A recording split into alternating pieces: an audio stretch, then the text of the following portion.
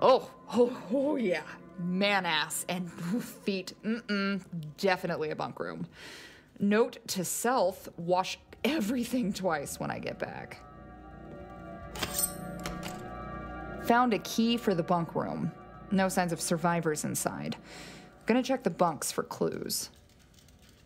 Dull and rubbery. This one's just a prop.